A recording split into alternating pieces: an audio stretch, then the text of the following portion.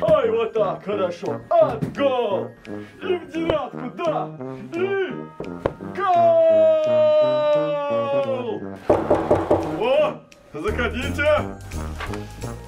Дед, мы к тебе.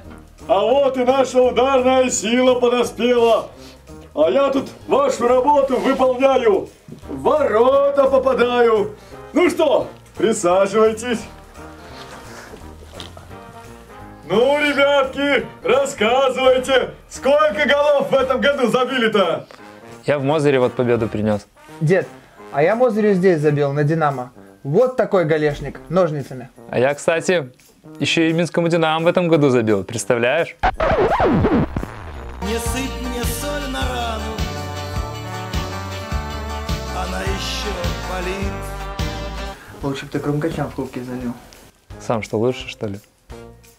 Ну что, ребята, вы, конечно, молодцы. Голы забиваете, очки приносите, победы тоже приносите нашей команде. Но чего-то не хватает, нужно лучше стараться. Ну а чтобы лучше стараться, вот тебе подарочек.